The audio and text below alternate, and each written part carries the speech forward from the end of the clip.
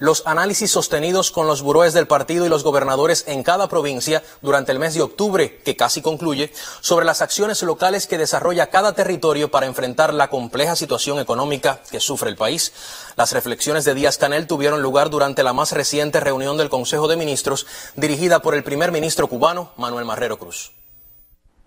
El Consejo de Ministros evaluó el comportamiento económico del país al cierre de septiembre, presentado por el viceprimer ministro y titular de Economía Alejandro Gil Fernández. El tema motivó las consideraciones del presidente de la República, Miguel Díaz Canel Bermúdez, quien se refirió a los análisis realizados durante el mes de octubre, de conjunto con los buróes provinciales del partido y los gobernadores. Díaz Canel insistió en que no hay tiempo que perder y no hay medidas mágicas para cambiar la actual situación de la economía más allá del trabajo, contando siempre con la participación popular. Hay problemas que están sucediendo en nuestra sociedad e insuficiencias que no tienen que ver con el bloqueo de los Estados Unidos recrudecido en estos momentos. Y tienen que ver con el incumplimiento de funciones estatales de determinados organismos o con el incumplimiento de las, de las funciones que tienen que jugar un grupo de instituciones públicas o instituciones estatales. Estamos defendiendo el concepto de que hay que trabajar organizadamente desde la comunidad y romper un poco el criterio ese que a veces tenemos de que las cosas se resuelven desde arriba, desde el país hacia los municipios. El jefe de Estado enfatizó en la necesidad de mantener el ahorro para lograr mayor eficiencia energética. Todas las medidas que se adopten, indicó el mandatario, deben tener un impacto en las personas vulnerables y llegar más a las comunidades para la resolución de problemas. Entre los asuntos que hoy prioriza el país están el ingreso de más divisas, la producción de alimentos, las acciones para detener la migración, potenciar el mercado cambiario y buscar una relación adecuada entre el salario y los precios, muchos de los cuales hoy están marcados por la especulación. El presidente cubano recalcó la importancia de ofrecer mayor atención a los programas sociales y aquellas actividades del sector presupuestado que son vitales como la salud y la educación. El sistema empresarial, dijo, está llamado a producir más bienes y servicios de manera eficiente y sostenida y convertir la excepción en regla. Hoy nuestras empresas no tienen cotas para su objeto. O sea, el objeto de las empresas estatales es lo más amplio posible, está reconocido una actividad fundamental y todo otro grupo de actividades que si son legales las puede realizar. Incluso es un objeto más amplio que el de, la, de las formas no estatales, porque la empresa estatal sí está en espacios donde hay medios fundamentales de producción que están en manos del pueblo, en manos del Estado. Es verdad que tenemos empresas hoy eh, atrapadas en la falta de combustible y en la falta de financiamiento para un grupo de insumos y de materias primas que necesitan para su actividad fundamental. Y hay empresarios que asumen eso y dicen, no, yo no puedo hacer más nada por esto y manda a la gente al 60% para la casa. Entonces yo creo que hay que ir un poco al concepto, como lo han hecho otros que no se han acomodado eso, del cambio de actividad. Y nosotros por el cambio de actividad, con las potencialidades de fuerza de trabajo calificada que hay en un grupo de empresas, podemos hacer mucho, podemos brindar muchas producciones y servicios a la población que hoy no estamos haciendo. Y con esos servicios y producciones a la población se puede ingresar dinero. Se pueden lograr incluso mejores salarios, se pueden repartir utilidades. En esta sesión, el máximo órgano de gobierno aprobó la cartera de oportunidades de inversión presentada por la viceministra primera de Comercio Exterior e Inversión Extranjera, Ana Teresita González. La cartera que será puesta a consideración de los participantes de la venidera Feria Internacional de La Habana incluye 708 nuevos proyectos, un mayor número destinado a abastecer el mercado interno con productos de primera necesidad y para la industria nacional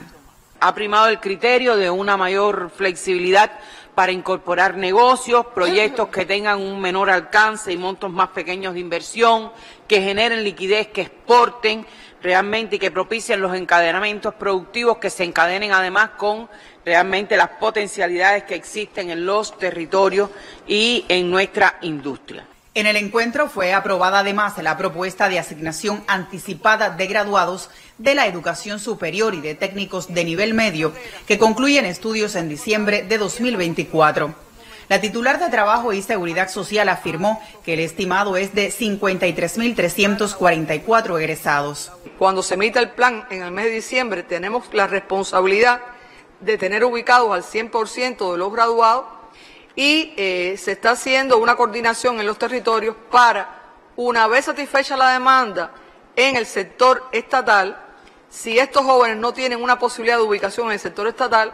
se ubiquen entonces en el sector no estatal, se haga esta preubicación de manera tal que estos jóvenes tengan una, una, posibilidad de continuar adiestrándose y preparándose. El primer ministro de la República hizo un llamado a los gobiernos municipales a atender a los jóvenes recién graduados en cuestiones materiales básicas como la vivienda y un recibimiento adecuado en las entidades donde iniciarán su vida laboral. Acabar de solucionar los problemas que tenemos a la hora de recepcionar en las diferentes instituciones a esos recién graduados, donde a veces no son recibidos debidamente, a veces no se reciben, van directo a recursos humanos, no se reciben por los máximos dirigentes de esa institución, no se les explica a dónde están llegando, eh, cuáles son, qué se espera de ellos.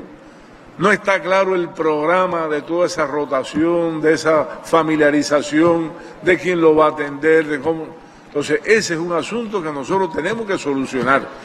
El impacto de la ejecución de obras asociadas a los trasvases y su valor de uso fue comentado por Antonio Rodríguez, presidente del Instituto Nacional de Recursos Hidráulicos. Destacó el trabajo realizado por empresas del Ministerio de la Construcción y de la industria de construcciones militares, lo cual ha posibilitado llegar con el abasto de agua a lugares intrincados. En el abasto de agua a más de 270 mil personas en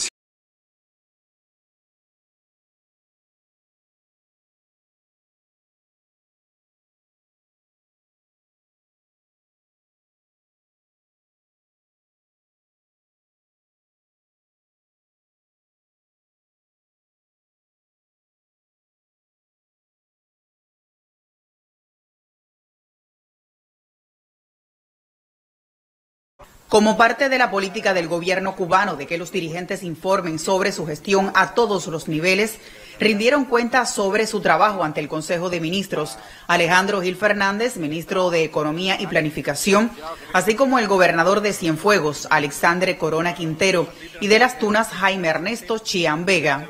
El general de división Raúl Acosta Gregorich actualizó el estado de cumplimiento de los planes integrales de enfrentamiento a las ilegalidades del ordenamiento territorial y urbano, un asunto en que todavía queda mucho por accionar, tanto por entidades como por gobiernos locales. Durante la reunión fue aprobada la propuesta de anteproyecto de ley de atención a quejas y peticiones que será sometida al debate de la Asamblea Nacional del Poder Popular. También el Consejo de Ministros aprobó el informe que da cuenta de los principales resultados y propuestas sobre el control a la posesión, uso y legalidad de la tierra.